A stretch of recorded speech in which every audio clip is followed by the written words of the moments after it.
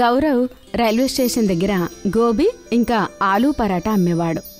రండి రండి. వేడి వేడి గోబీ ఆలు పరాటా తినండి. గౌరవ్ ఇంట్లో అతని తల్లి కూతురు ఇంకా భార్య ఉండేవారు. గౌరవ్ ఉదయం నుంచి సాయంత్రం వరకు కష్టపడేవాడు. అయినా కూడా అతని పేదరికం దూరం చేసుకోలేకపోతాడు. వినండి గోబీ ఇంకా ఆలూ పరోటాకి ఖర్చు ఎక్కువగా వస్తుంది. ఒక పని చెయ్యండి. మీరు నార్మల్ పరోటా వేసి అమ్మండి. దానికి ఖర్చు తక్కువ అవుతుంది. ఇంకా లాభం ఎక్కువ వస్తుంది. అరే లేదు లేదు అలా చెయ్యను. మామూలు పరోటా తినడానికి ఎవ్వరు ఇష్టపడరు. నాన్నగారు కూడా ఆలు మరియు గోబీ పరోటా అమ్మేవారు. ఇంకా నేను కూడా అదే చేస్తాను. గౌరవ్ దగ్గరికి రకరకాల కస్టమర్లు ఇంకా వాళ్ళ రకరకాల డిమాండ్లు ఉండేవి. బాబు నాకు ఆలు పరోటాతో పాటు గోబీ కూర కూడా కావాలి. పరోటాతో పాటు నాకు కూర కూడా ఇవ్వు. నాకు పరోటా పచ్చడి కావాలి.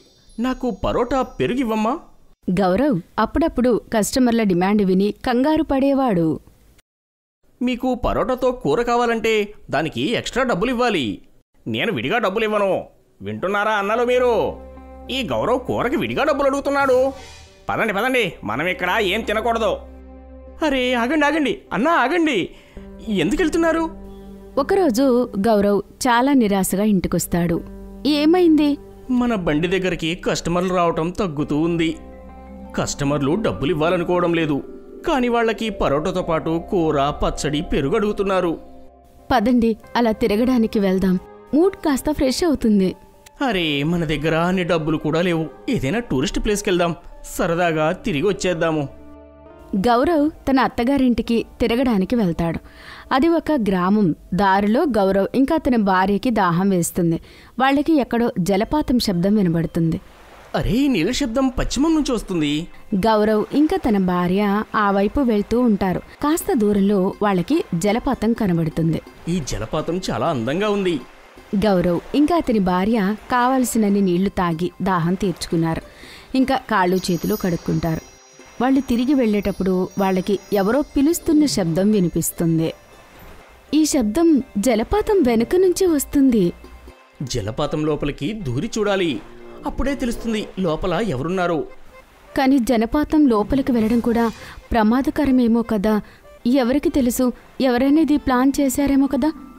అప్పుడే జలపాతం నుంచి ఒక శబ్దం వస్తుంది. ఇది ఎవరి వల్ల కాదు? నాకు సాయం చేయండి. నేను ఒక సాధువుని. నన్ను బంధం నుంచి విముక్తి చేయండి. నేను జలపాతంలోకి వెళ్ళాలి గీత. ఒకవేళ అక్కడ బందీగా ఎవరైనా పడి ఉంటే వాళ్ళని నేను విడిపించాల్సిందే.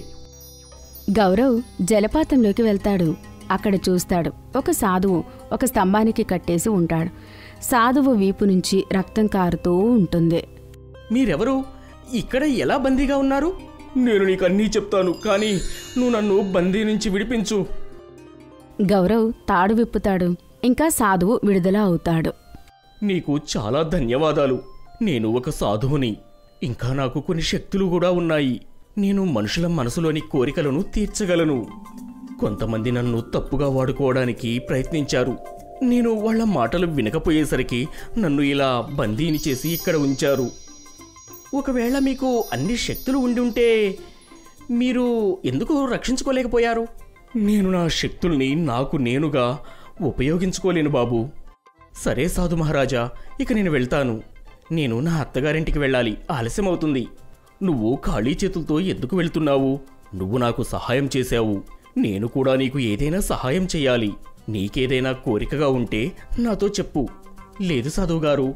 నేను కష్టపడి నా జీవితంలో ఏదైనా సాధించాలనుకుంటున్నాను. సాధువు గౌరవ్ మాటలకి చాలా ఆనందపడతాడు. ఇంకా అతను మనసులోనే గౌరవ్కి ఆశీర్వాదాలు ఇస్తాడు. గౌరవ్ తన అత్తగారింటి నుంచి తిరిగి వచ్చిన తర్వాత మళ్ళీ తను ఆలు ఇంకా గోబీ పరాటా వ్యాపారం మొదలుపెట్టాడు.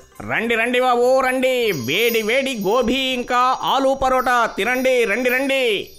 కస్టమర్లు మళ్ళీ రకరకాల డిమాండ్లు వేస్తూ ఉంటారు. అరే అన్నా నాకు పరోటాతో పాటు కూర కావాలి. కూర అయితే లేదు. అప్పుడే హఠాత్తుగా ఆ వ్యక్తి ప్లేట్లో కూర ప్రత్యక్షమయ్యింది. నాకు పరోటాతో పెరుగు కావాలి. నా దగ్గర పెరుగు లేదు.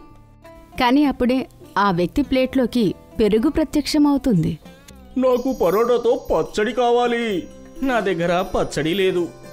అప్పుడే మూడవ వ్యక్తి ప్లేట్లో పచ్చడి ప్రత్యక్షమయ్యింది. అందరి కళ్ళు తిరిగిపోతాయి అది చూసి. అరే ఇదేంటి? నేను వాళ్ళకి కూర పచ్చడి పెరుగు వేయలేదు కదా. కానీ వీళ్ళ ప్లేట్లోకి అవి ఎలా వచ్చాయి? అప్పుడే అక్కడికి అదే బాబా వస్తాడు. ఎవరినైతే గౌరవ్ జలపాతం దగ్గర కాపాడతాడు. బాబూ కాస్త రెండు పరోటాలివ్వు కూర పచ్చడి పెరుగుతో సహా.